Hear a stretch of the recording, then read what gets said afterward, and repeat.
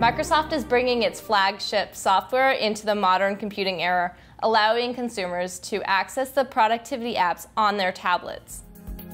Here I have Samsung Slate preloaded with Windows 8 with Office 2013.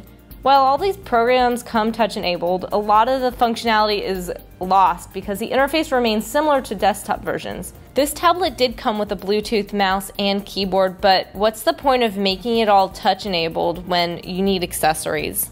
Microsoft's new App Store is currently looking for new developers. It likes long walks on the beach, candlelit dinners, and of course, it values productivity.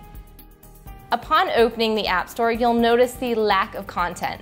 Now, there are some entertainment apps, but Microsoft is hoping developers make apps that talk to its new Office suite to encourage sharing and collaboration. An example would be using the LinkedIn app to pull contact information from your Microsoft Outlook email and storing that in your LinkedIn profile. Microsoft is trying hard to develop for all platforms, but it clearly isn't there yet.